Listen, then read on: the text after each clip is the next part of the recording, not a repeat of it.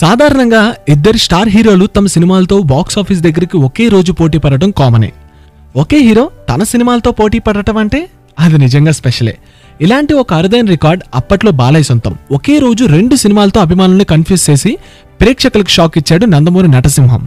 పంతొమ్మిది వందల తొంభై మూడులో సెప్టెంబర్ మూడున బాలకృష్ణ నటించిన బంగారు బుల్లోడు నిప్పురవ్వ రెండు సినిమాలు ఒకే రోజు థియేటర్స్లోకి ఎంట్రీ ఇచ్చాయి.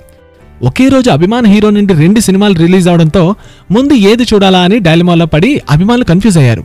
అయితే కొందరు బాలకృష్ణ అభిమానులు ముందుగానే నిప్రవ్వకి ఓటేసి సరికొత్త బాలయ్యని చూడడానికి వెళ్తే ఇంకొందరు మాత్రం అన్ని మసాలాలతో తెరకెక్కిన బిర్యానీ లాంటి బంగారు బుల్లోడు మార్నింగ్ షో చూడడానికి ఎగబడ్డారు. బాలయ్య అభిమానుల్లో దాదాపు అందరూ ఆ రోజు రెండు సినిమాలు చూశాకే ఇంటికి వెళ్ళారు నిజానికి రెండు సినిమాలు ఒకే రోజు రావడానికి కొన్ని కారణాలున్నాయి. నిప్రవ్వు దాదాపు మూడేళ్ళ పాటు షూటింగ్ జరుపుకుంది.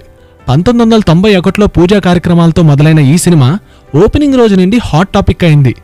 నిప్రవ సినిమా ఓపెనింగ్కి రజనీకాంత్ మోహన్ లాల్ ముఖ్య అతిథులుగా హాజరయ్యారు. సింగరేణి బొగ్గుగనుల నేపథ్యంతో కార్మికుల కథతో తెరకెక్కిన ఈ సినిమా భారీ బడ్జెట్ డిమాండ్ చేసింది. షూటింగ్ మధ్యలో కొన్ని యాక్సిడెంట్స్ కూడా జరిగాయి. దాంతో కొన్ని రోజులు షూటింగ్కి బ్రేక్ పడింది. తర్వాత ఫైనాన్షియల్ ఇబ్బందులు కూడా చుట్టుముట్టాయి. పంతొమ్మిది వందల తొంభై ఒకటిలో నిప్రవ స్టిల్స్ పోస్టర్స్ షూటింగ్ విషయాలతో మంచి హైప్ వచ్చింది.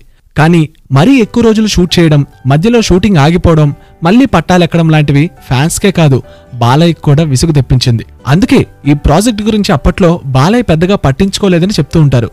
అలా ఆలస్యం అవుతూ మూడేళ్ళ తర్వాత నిప్పురవ్వ థియేటర్స్లోకి వచ్చింది. ఇక అప్పటి పరిస్థితుల ప్రభావంతో బాలయ్య నటించిన మరో సినిమా బంగారు బుల్లోడు కూడా అదే డేట్ అనౌన్స్ చేశారు. అలా అనుకోకుండా పంతొమ్మిది వందల తొంభై మూడులో సెప్టెంబర్లో బాలయ్య వెర్సెస్ బాలయ్య అంటూ ఓ అరుదైన రికార్డు నెలకొల్పాడు బాలయ్య. కోదండరామిరెడ్డి దర్శకత్వంలో రూపొందిన నిప్రావకి హీరోయిన్ విజయశాంత్ భర్త శ్రీనివాస్ ప్రసాద్ నిర్మాత కాగా రవిరాజా దర్శకత్వంలో వచ్చిన బంగారు బుల్లోడు సినిమాకు విబి రాజేంద్ర ప్రసాద్ నిర్మాత.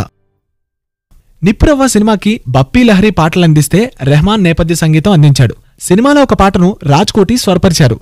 ఇక బంగారు బుల్లోడు సినిమాకు రాజ్కోటి మ్యూజిక్ అందించారు. సినిమా రిలీజ్కి ముందే పాటలు సూపర్ హిట్గా నిలిచాయి. స్వాతిలో ముత్యమంత పాట ఒక ఊపు ఊపేసింది. ఇప్పటికీ ఆ పాట ఎక్కడో చోట వినబడుతూనే ఉంటుంది. ఒకే రోజు విడుదలైన రెండు సినిమాల్లో బంగారు బుల్లోడు సూపర్ హిట్ అనిపించుకుంటే బాలకృష్ణ ఎంతో కష్టపడి చేసిన నిప్పురవ్వ మాత్రం ఆశించిన ఫలితం అందుకోలేకపోయింది. బంగారు బుల్లోడు నలభై ఎనిమిది కేంద్రాల్లో యాభై రోజులు పన్నెండు కేంద్రాల్లో వంద రోజులు పూర్తి చేసుకుంది. రాజమండ్రిలో మేనక థియేటర్లో బంగారు బుల్లోడు శివజ్యోతి థియేటర్లో నిప్పురవ్వ శతదినోత్సవం జరుపుకున్నాయి. ఇది ఇప్పటికీ బాలయ్య అభిమానులు గర్వంగా చెప్పుకునే ఓ అరుదైన రికార్డ్. ఈ వీడియో కనుక మీకు నచ్చితే వెంటనే లైక్ కొట్టి కామెంట్ పెట్టండి. మరిన్ని వీడియోస్ కోసం సబ్స్క్రైబ్ చేసుకోవడం మర్చిపోతే